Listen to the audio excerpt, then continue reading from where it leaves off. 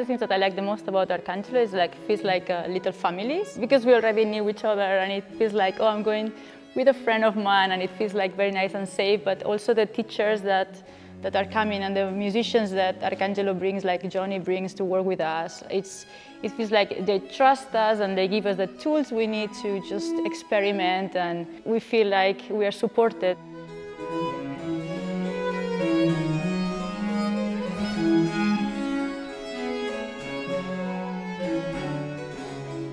So we're here together with um, Jonathan Manson, Sophie Gent, Thomas Dunford and Georgia Brown and we're with the three Academy Arcangelo new ensemblists. So we've had uh, Yaoré Talibart, we have Cristina Prats Costa and Madeleine Bouissou on cello and we've all been working together to be playing through lots of Baroque music and working a lot in detail together this week.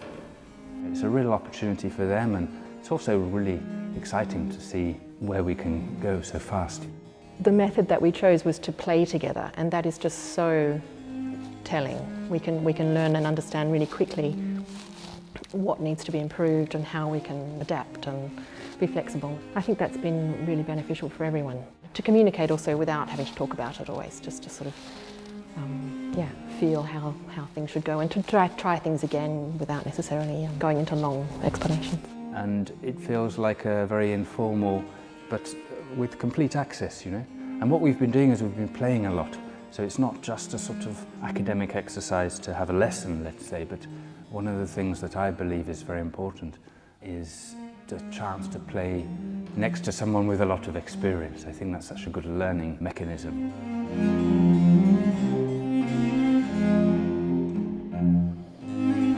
What's been particularly nice is, is getting to know people on a real people level not the kind of structure that you walk into a lesson and you have you have a formal lesson. This is much more free, easygoing. So that's been a particular delight. It's been a fun combination of both feeling like feeling like being treated as a professional, but also a professional with less experience.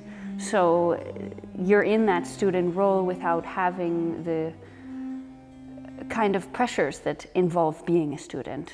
There's always a little pressure of uh, meeting new people and like um, you know that you have only two days to like give this impression of you, but at the end you're like, it's just musicians playing together and we all improve at some point and we all need this kind of safe space to just uh, be ourselves, I guess. That's the most important.